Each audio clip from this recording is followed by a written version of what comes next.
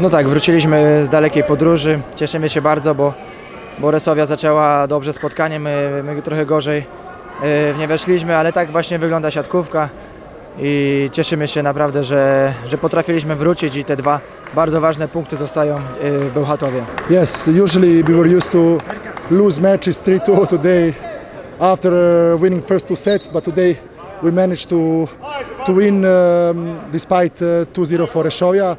We didn't play our best game, but uh, the most important thing is that, that we won.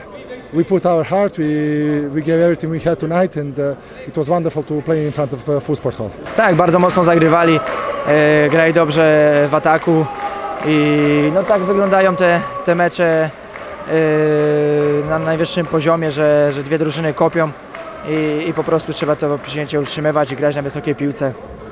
Cieszymy się, cieszymy się, że to nam się udało od trzeciego seta i, i tak jak powiedziałem, wygrywamy bardzo ważny mecz.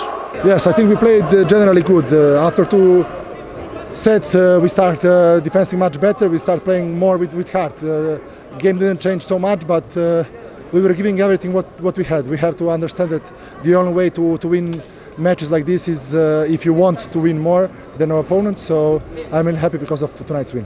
Tak, wytrzymaliśmy tą końcówkę. W tiebreaku też było na styku i to może cieszyć, że, że jesteśmy mocną e, drużyną psychicznie, ciężko nas, e, nas złamać, więc e, mamy powody do zadowolenia, ale pracujemy dalej, bo, bo jeszcze na pewno mamy wiele do poprawy. Okay, I know that it's uh, the biggest opponent in the league because uh, two clubs I think that uh, win the most in the past. So um, it's always nice to play against such a strong team because we can say that maybe if we look the names they have, uh, for sure they are favorites to win uh, all trophies. Tak, na pewno to jestem wychowany na tych meczach, tak jak e, ktoś powiedział.